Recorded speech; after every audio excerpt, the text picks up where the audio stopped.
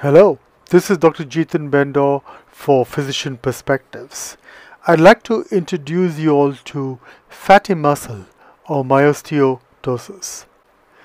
Skeletal muscle and bone share common embryological origins.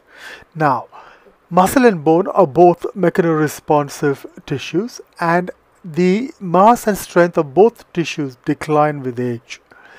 What we also know is that the decline in muscle and bone strength that occurs with aging is accompanied in both cases by an accumulation of adipose tissue or fat.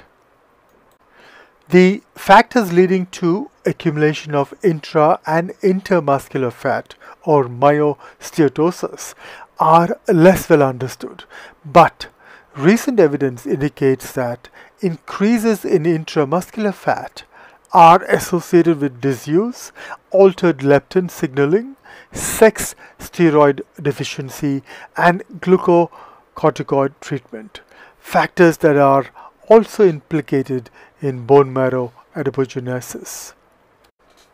Accumulation of adipocytes in skeletal muscle and accumulation of intramyocellular lipid or fat are linked to loss of muscle strength, reduced insulin sensitivity, and increased mortality among the elderly.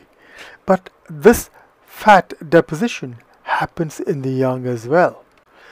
The conditions favoring the accumulation of fat in muscle and bone are aging, glucocorticoid treatment, uploading or disuse of muscle, sex steroid deficiency, or leptin deficiency.